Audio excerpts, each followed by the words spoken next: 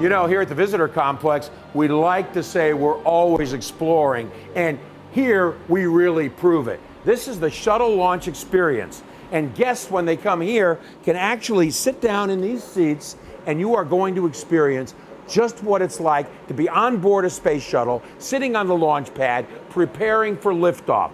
You feel the roar of the engines as the shuttle takes off and leaves the tower behind. As you move out into space, this is an experience that really puts you just where the astronauts were on board the space shuttle, looking up at space. This is truly a spectacular, spectacular simulation.